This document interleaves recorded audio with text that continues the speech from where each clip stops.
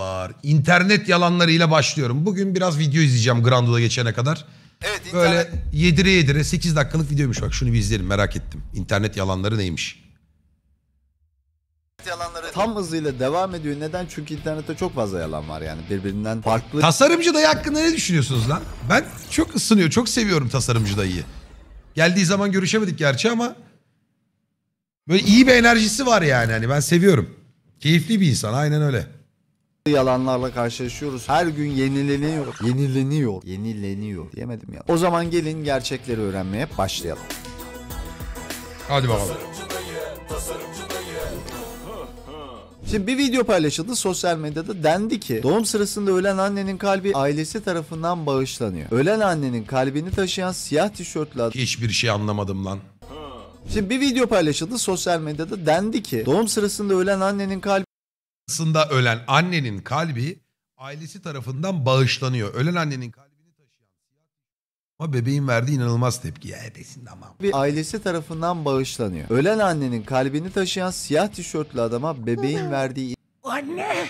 İnanılmaz tepki başlığıyla paylaşılmış bir video. Tabii ki bizi oldukça duygulandıran, içi parçalanıyor insanı izlerken yani öyle bir video. Hak veriyorum. Ama doğru mu değil mi tabii ki ona da bakmak gerekiyor. Videonun orijinalini Çin'de bulunan bir televizyon yayın kuruluşu paylaşmış. Bebek birkaç ay önce annesinden kalp nakli yapılan bir adam tarafından tutulduğunda ağlamayı kesiyor falan gibi. Bir açıklamayla paylaşılmış. Tabii ki bunu direkt olarak gerçek algılamışız ve paylaşmışız yani. Türkiye'de özellikle çok fazla paylaşıldı. Efendim bu aslında organ bağışına dikkat çekmek amacıyla yapılmış bir reklam filmi. Gerçeği yansıtmıyor. Ama evet oldukça duygusal. Yine bizi işte efendim milli duygularımızı harekete geçirmeye çalışır gibi yapılan paylaşımlardan Edirne'de bir genç Suriyelileri toplamış demiş ki size erzak dağıtacağım falanca yere gelin demiş. Hepsi de o işte Atatürk büstünün önüne saat 9.05'te toplamış bütün Suriyelileri falan. 9.05'te saat veriyor. Edirne'de Atatürk büstü önünde. Peki burada doğru olan ne? Görsel Abi bir gevşek sana laf atmış. Ey saygılar, sevgiler.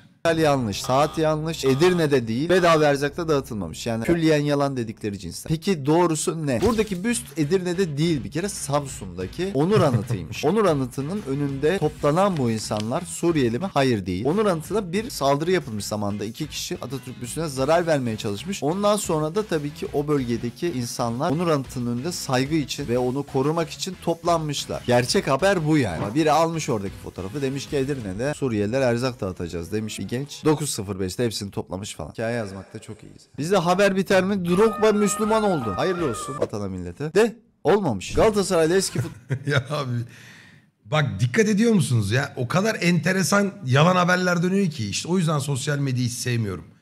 Yani bir de buna millet ya ben mesela böyle bir haberi gördüğüm zaman üzerinde durmuyorum mesela hani çünkü beni de ilgilendirmiyor ya bir noktada.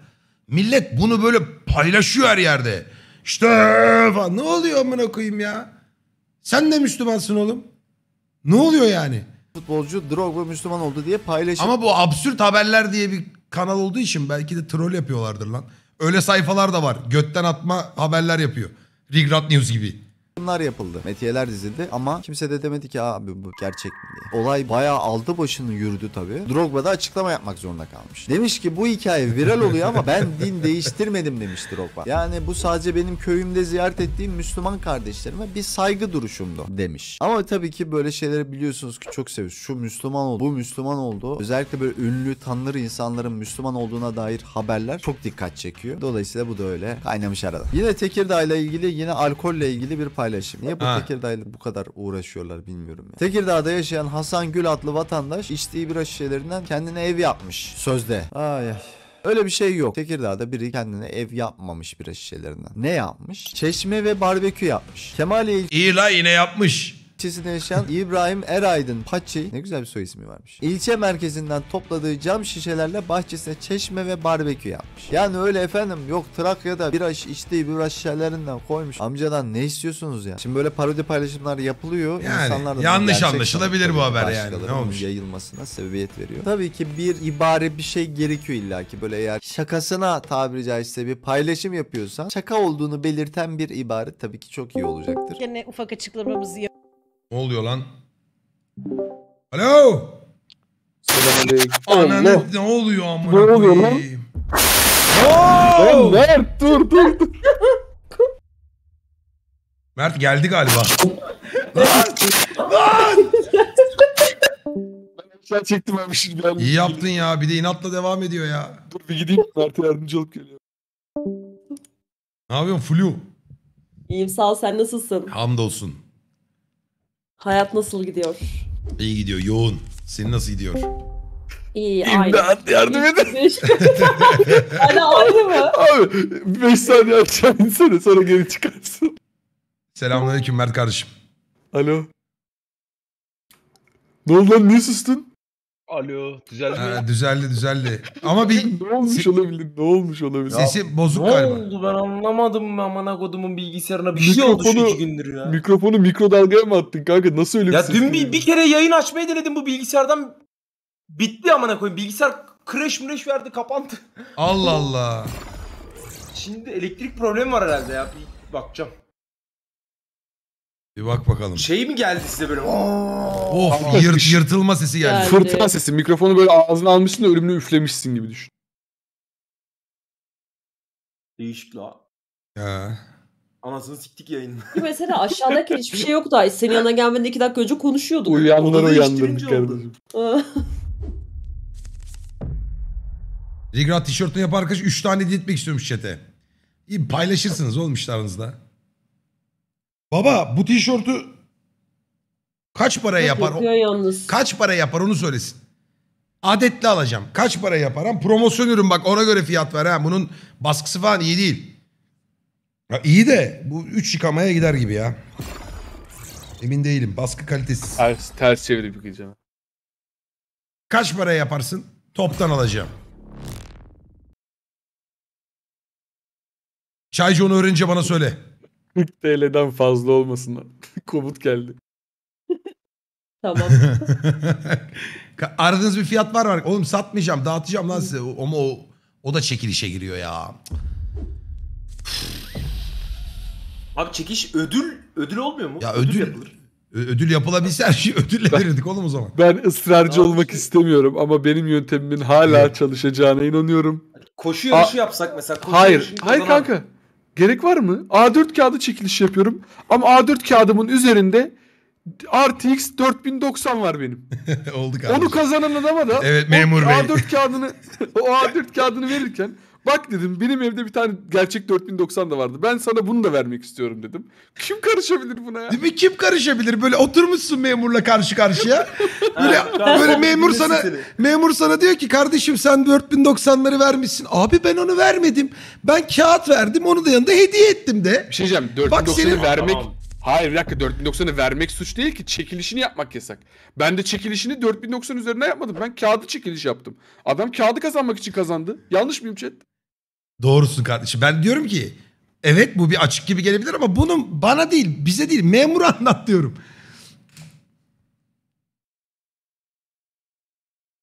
Mona Lisa.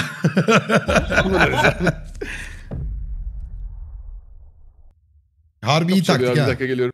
Bir, bir bak bakayım kapıya sen. Kaçıyorum ben kapıya bakayım. Aa benimki de çalıyor. Ben ne alakayım ya? Of. ben yapmıyorum ya.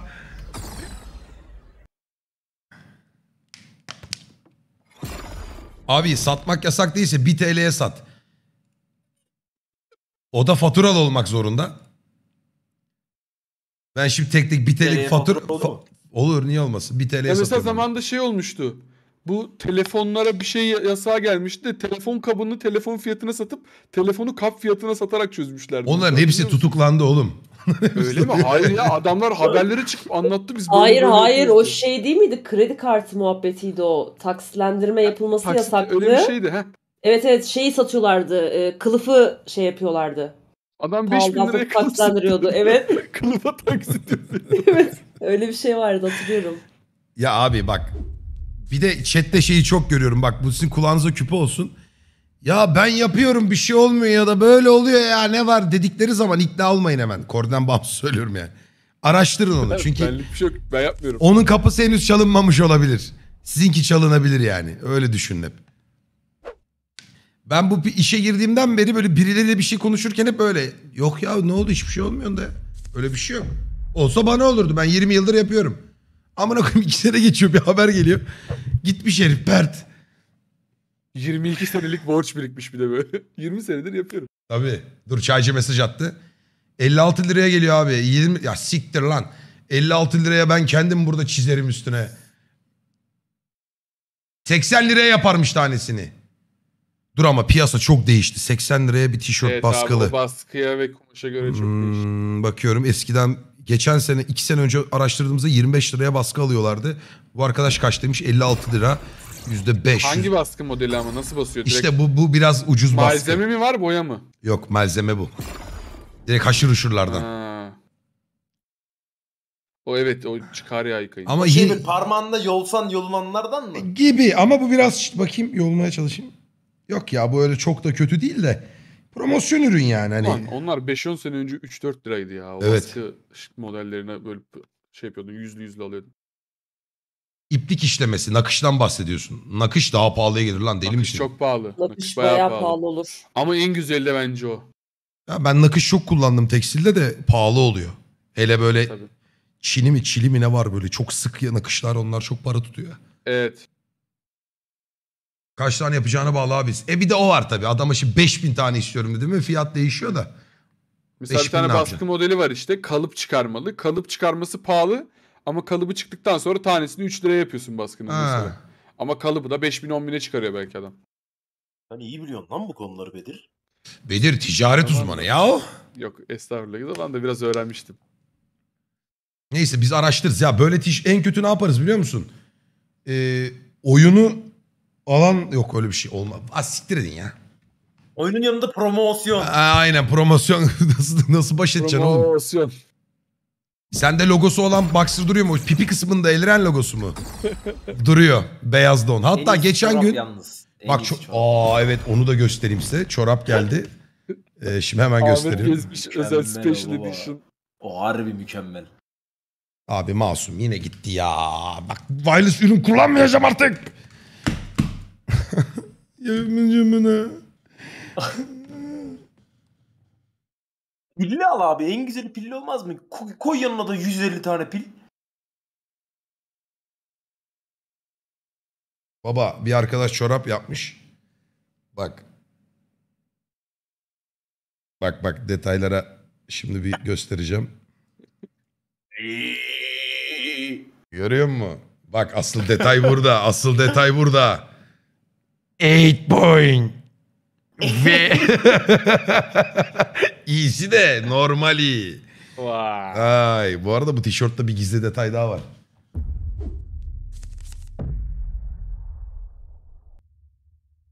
Sırtım yanıyor. Vay. Ana. Arkaya bak. Abi ne sandınız? O yüzden o 56 lira tutmuş. Arkaya da baskısı var onun. Sadece önder ikratlı bir fiyat versene. Ön, önder ikrat yıkama talimatı istemiyoruz. İç etiket de çıkar. Öyle 58 lira oluyor abi. Ben bunu yıkama talimatları falan masrafı Ta, tabii ya, arttırıyor kü- küçük masraflar ama arttırıyor tabii. Hepsi maliyet onların. E, anahtar teslim gibi düşünme yani. Poşet falan da yok. Hiçbir şey yok. Kolin içine at yolla. Öyle kaç para olur? baskıdan çıkar, buruştur, at.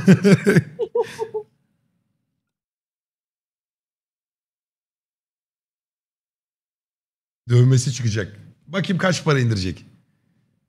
Tukan abi ben hediye edeceğim sana tişört. Oğlum hediye etmeyeceksin işte dur. Gel bizim fabrikada halısını basalım. Halı, halıcı mı? Ya ne yap kim evine niye rigrat yazılı halı alsın?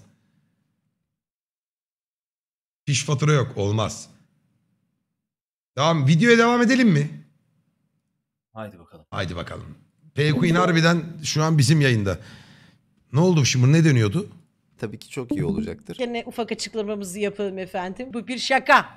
Yoksa yalan haberin yayılmasına müsaade etmiş oluyoruz. Şimdi neymiş? Çinli bir babanın pasaportu çocuğu tarafından karalanmış. Pasaportu karalanınca da orada kalmış. Gidememiş hiçbir yere. Haber bu. 4 yaşındaki oğul tarafından pasaportu karalanan Çinli baba Güney Kore'de mahsur kaldı. Ne de güzel hikaye. Peki gerçeği ne dostlarım? Aslında burada kara Reis sadece tişörtün boşu 56 lira baskı ise 20 lira toplam 76 olur. Aa, Oğlum 4 lira indirdin ya. Tak yıkama talimatını geri ya. Bu tişörtü galiba hazır alıyor. İçinde her şey varken alıyor yani. Kendi diktirmiyor. Karalanmış bir pasaport yok. Burada pasaport da yok aslında. Bunu şöyle izah edeceğim. Buradaki pasaport karalanmış ama tabii ki dijital müdahaleyle yani bilgisayar Tam onu diyecektim yapılmış ha. bir olay. Özellikle kimlik bilgilerinin olduğu kısımların daha fazla karalanmış olmasından da bunu çıkarabiliyorsunuz anlaşılıyor. Pasaport üzerindeki çizgilerin tamamının kalınlığının sabit olmasından da anlaşılıyor gibi birçok detay var aslında. Bu arada bu tarz doğrulamalar doğrula.org var bakın. Yani malumat gibi siteler var. Bu siteler üzerinden doğrulayabilirsiniz. Sosyal medyada gördüğünüz birçok şeyin açıklamasını oralarda bulabiliyorsunuz. Ben de bunu paylaşımda Allah Allah. Oradakine nereden güveneceğiz? Orada herhalde işte insanlar ölüyor doğrudur değildir. Hmm. katkıda bulunuyorum ki daha fazla insan bilinçlensin. Her şeye inanmayalım yani. Yine böyle dışarıdan kendimizi aldığımız haberlerden birisi bu. Kars'ta yolcular neye uğradığını şaşırdı. Kars'ta bir kişi atıyla birlikte otobüse bindi. Yok artık amına koyayım. Yolcular ne uğradı? Kars'ta bir kişi atıyla birlikte otobüse bindi. Nasıl bir ata oturuş o ya? Bu Photoshop lan bu. Şok şok şok şeklinde paylaşılmış. Altta bir Kars'ta sıradan bir gün falan yazmış altta. Yapmasak olmaz şunu da. Şimdi bu olay Kars'ta bile değil. Sohum diye bir yerde. Sohum'da bir adam atıyla Harbiden birlikte binmiş. evet otobüse binmiş. Ama bindiği gibi de inmiş tabii şoförün uyarısıyla. Bu anlara dair de o kısa görüntüyü artık nasıl buldun ne ettiyse almış o görüntü kısmına işte Kars'ta sıradan bir gün yazmış üstüne paylaşmış. Garibiz ya. Evet geldik şimdi TOG'la ilgili biliyorsunuz TOG çıktıktan sonra onunla ilgili bir sürü yalan haber de piyasada sürülmüştür. Onlardan bir tanesi. İlk TOG Sakarya'da banttan inmiş taksi bile olmuş kandırıldık mı demiş biri. TOG yerli ve milli öyle mi? Adam İtalya'dan getirtip taksi durağına koyarak ticari yapmış ama birileri test sürüşü yaparak yerli otomobil TOG diyor gibi bir paylaşım. Yani bunun gibi paylaşımlar çok bu arada. Ama ya arkadaşım buradaki fotoğraf, buradaki görsel tamamen Photoshop yani. Alakası bile yok bunun gerçekle. Merkez taksi. ama bayılıyoruz işte böyle şeylere. Plakasına bakıyorsun. 54'te 55 26 plakası. Ama o plaka aslında şöyle bir Doblo araçta yani. Toka falan değil. İkincisi bunun taksi durağı paylaşmış. Yani shopla yapılmış. 31 Aralık 2019.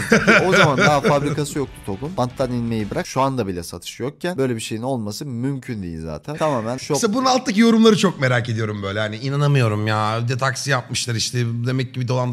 Ya böyle inanıp da yorum yapanlar var mı ciddi ciddi? Vardır Bence o da. taksicilerin paylaştığı sayfada helal olsun. Ha, vardır vardır da kesin. olaylar efendim. Ama güzel Photoshop yapmış ya. Helal olsun. Evet geldik pipet olayına. Pipeti aslında böyle değil de şöyle kullanıyormuşuz. Yani tersine sokuyormuşuz. Böyle içecekmişiz. Öyle bir şey aslında biz pipeti be. hep yanlış kullanmışız Yok be. gibi. İşte bu gerçekle yeni tanıştım diye paylaşmış. Bunun şeyi vardı. Pipeti poşetinden çıkarma yöntemi. Hani böyle çırt diye değil de üstten zaten çekince açılıyor gibi mevzusu vardı. O doğruydu mesela.